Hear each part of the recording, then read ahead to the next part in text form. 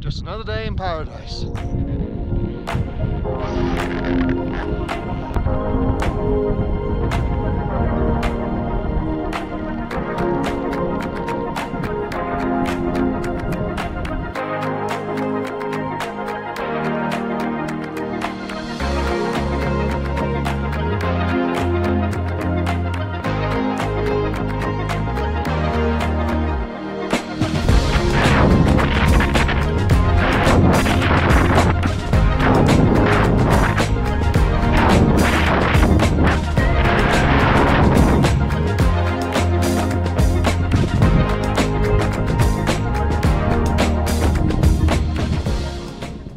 So we've started removing the handrails from the midi arete now. It's Tuesday today, so imagine by the time you see this this coming weekend, they could well have removed all the handrails and the Zed will no longer be fully equipped. So definitely from now on in, if you're thinking of doing the Vallée Blanche, definitely need to bring your axe and crampons. There might still be one handrail in, it might still be partially equipped, but yeah, never know. So be fully prepared to have to walk down the arete. But on the plus side, if they do move all the remove all the handrails, then you'll be able to ski it again, which is pretty awesome. So several big crevasses opening up at the entrance to the Salle à Manger now.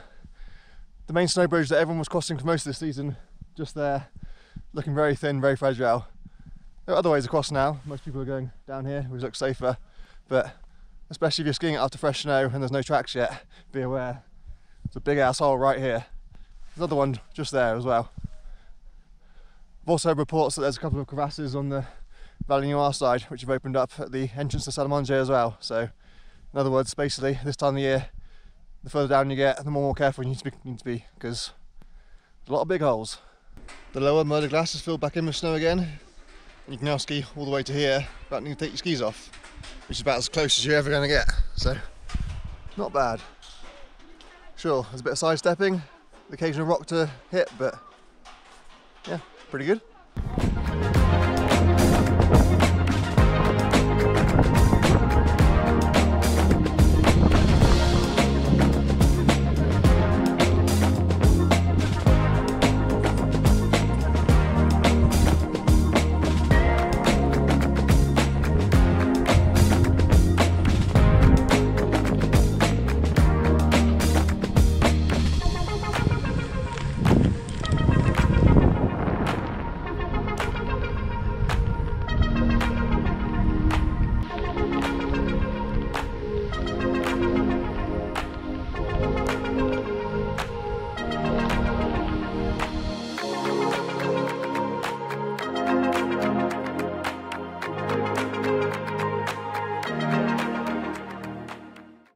Top of the glacier on, you've seen a hell of a lot of action over the last few days, and consequently, top almost sheet ice. It's incredibly scaped. So the down climb to where to put your skis on is actually pretty good condition, but then this first little traverse after putting your skis on is like sheet ice. So yeah, you don't want to keep your axe out if the conditions are like this.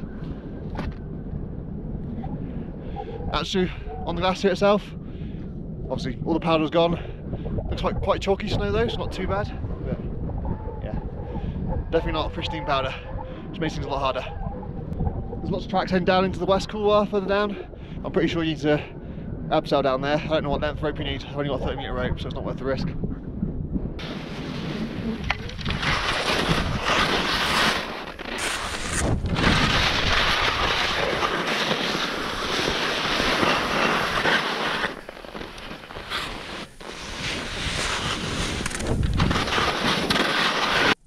The top was very icy. Have to be very careful on your turns. But coming across to skiers right, left, you look up to it now, a bit better, a bit more powder. The snow's not too bad down here. It's a shame you have to traverse out left to take the safe exit just as the snow starts to get really good. But there's a reason for that, of course. This the snow up here is scraped because everyone skied it so much. Pretty atmospheric up here above the clouds, pretty awesome. Team of three there in Passerelle Couloir. I think I saw the map training from the start when I was there, so it's taken a long time to get there.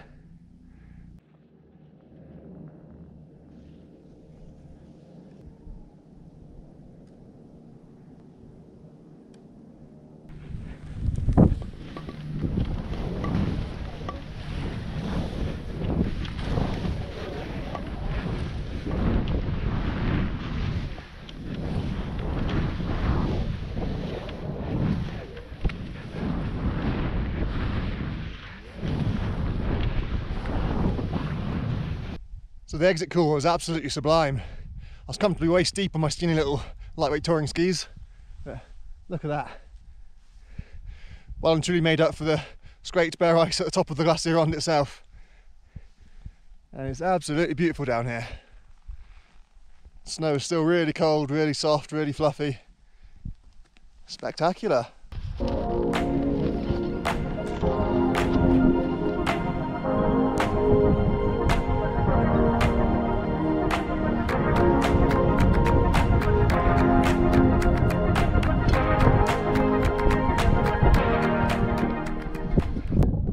Defeated trying to skin up the north flank of Mont Blanc du Tacul with the aim of skiing the Diversity Couloir today.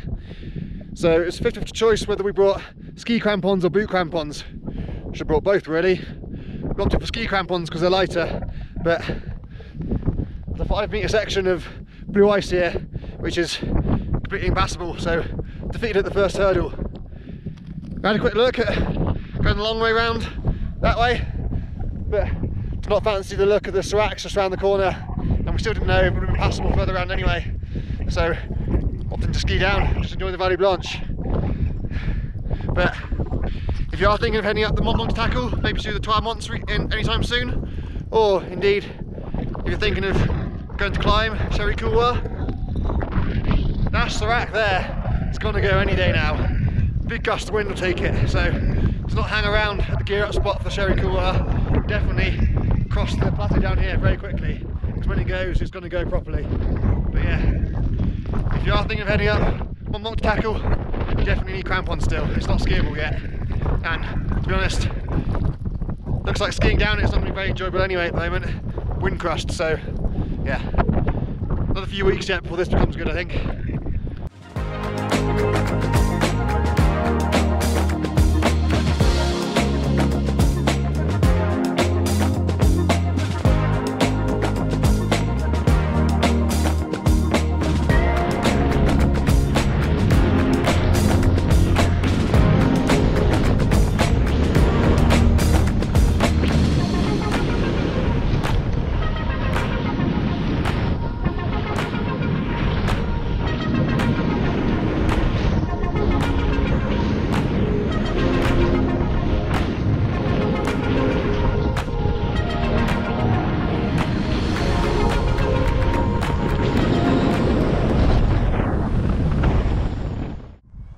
Exhausted.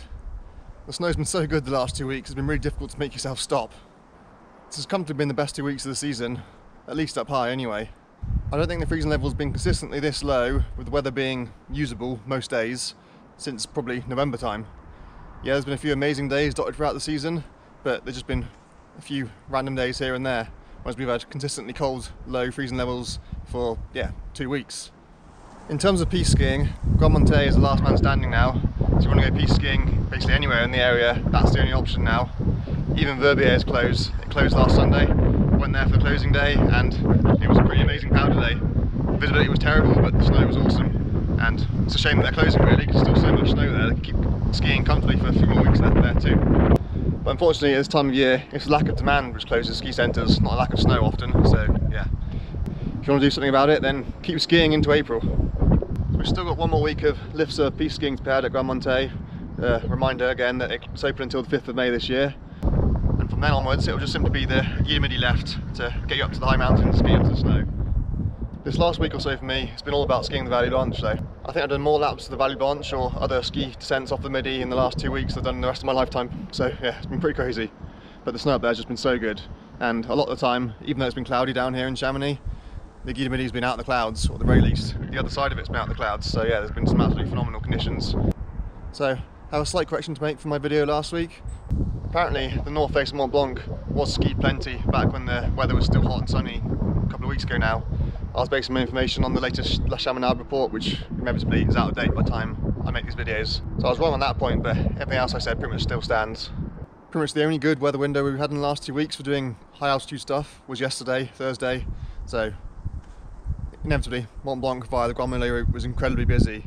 You could see the tracks heading across from Pan de. You can see the tracks coming down off of the Petit Plateau back towards the Grands Mulets hut as well. So skiing Mont Blanc from the summit via the Grands Mulets route now is very much on anytime there's a big enough weather window really.